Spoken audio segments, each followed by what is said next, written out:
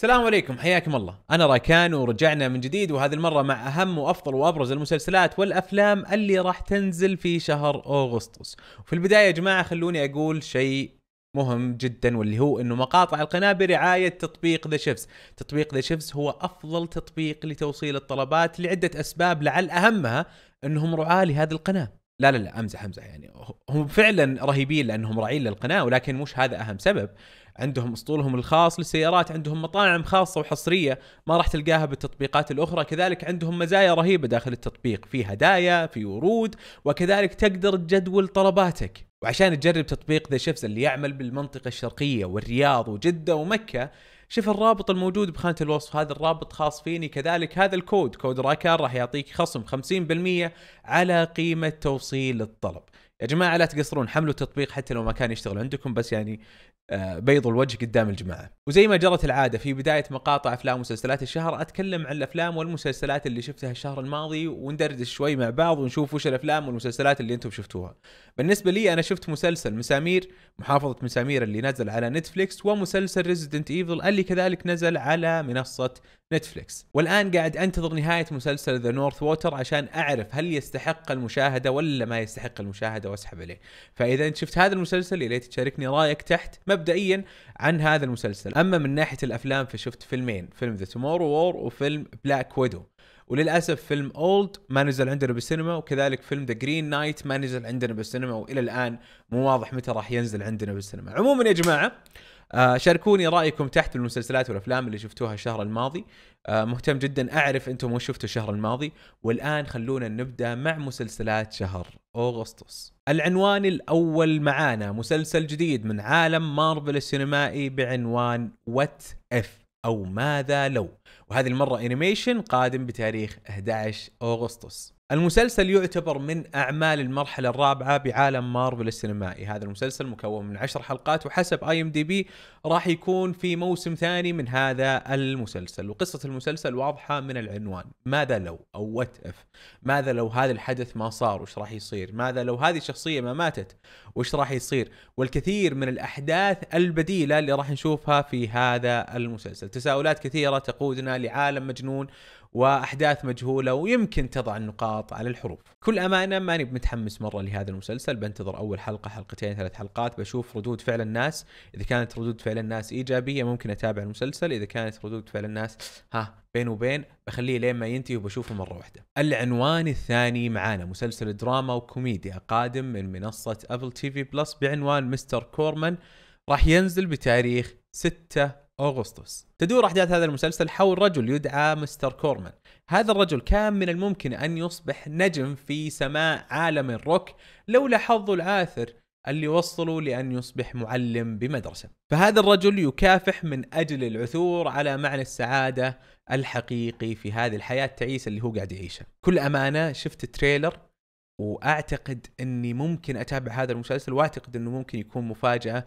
في شهر أغسطس، المسلسل من كتابة وإخراج وبطولة الممثل الرهيب جوزيف جوردن. المسلسل الثالث معانا مسلسل جريمة وكوميديا مقدم من FX بعنوان Reservation Dogs قادم بتاريخ 9 أغسطس. وتدور أحداث هذا المسلسل حول أربعة مراهقين أو أصدقاء من سكان أمريكا الأصليين أو ما يعرف بالهنود الحمر نشأوا مع بعض بمجتمع خاص بصراحة هذه المعلومات اللي أعرفها عن المسلسل وبكل أمانة اللي خلاني أذكر هذا المسلسل بهذه القائمة هي المشاهدات العالية ل trailer العمل سواء في تويتر أو حتى في اليوتيوب. ممكن يكون مسلسل رهيب ما أدري ولكن آه قلت ليش لا ما اذكر المسلسل الرابع معانا. مسلسل عربي درامي قصير من إنتاج منصة نتفليكس بعنوان مدرسة الروابي للبنات قادم بتاريخ 12 أغسطس. وتدور أحداث هذا المسلسل حول مجموعة بنات شريرات في مدرسة. البنات الشريرات يتنمرون على بنت مسكينة. البنت المسكينة تقرر أنها تنتقم من البنات الشريرات.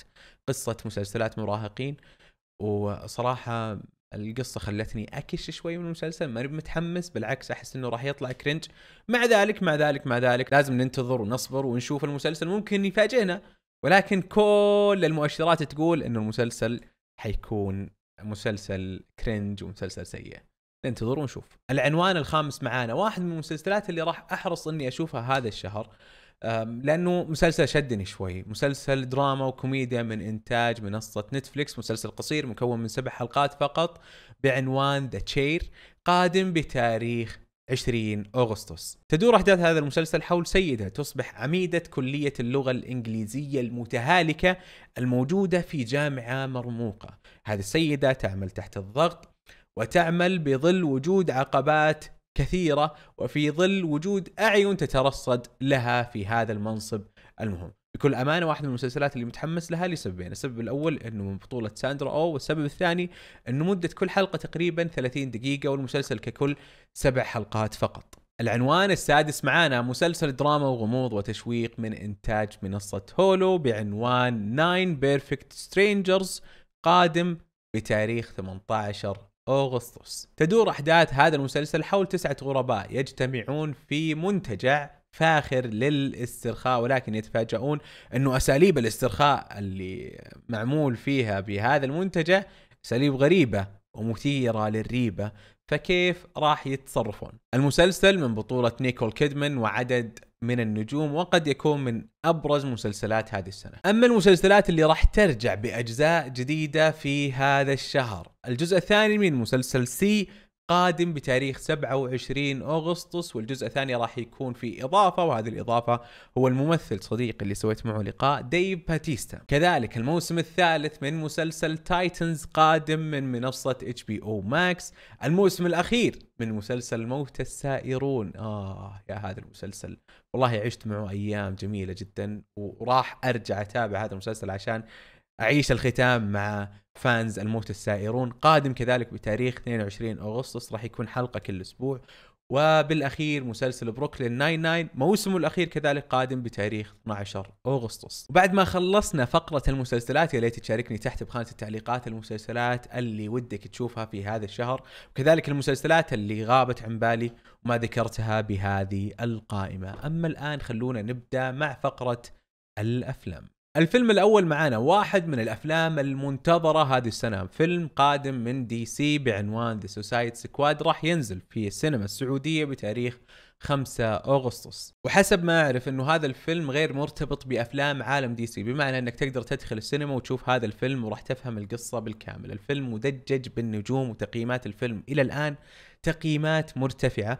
ومبدئيا أنا حاجز 5 أغسطس الساعة 12 في سينما الأحساء مول تكفون يا جماعة اللي يروح للسينما هذيك آه، نخفف شوي من سالفة الفلاشات لأن والله الموضوع يعمي ف أشوف الفيلم ونسوي له مراجعة بعدين. الفيلم الثاني معانا فيلم أكشن وكوميديا وخيال علمي قادم لصالات السينما السعودية بتاريخ 26 أغسطس بعنوان Free Guy قصة الفيلم مثيرة للاهتمام على الأقل مثيرة للاهتمام بالنسبة لي. الفيلم عن شخص يكتشف أنه داخل لعبة عالم مفتوح وأنه هو الشخص الحقيقي الوحيد داخل هذيك اللعبة. الفيلم الثالث معانا فيلم biography ودراما وموسيقى بعنوان Respect قادم لصالات السينما هنا في السعودية بتاريخ 19 أغسطس. تدور أحداث الفيلم حول مسيرة النجمة أريثا فرانكلين وعن مسيرته من لما كانت طفلة تغني بكنيسة والدها حتى أصبحت نجمة بسماء الفن. الفيلم من بطولة الأوسكارية جينيفر هودسون. الفيلم الرابع معانا فيلم أنمي مبني على عالم The Witcher ولكن ما له علاقة بمسلسل The Witcher ما له علاقة مباشرة.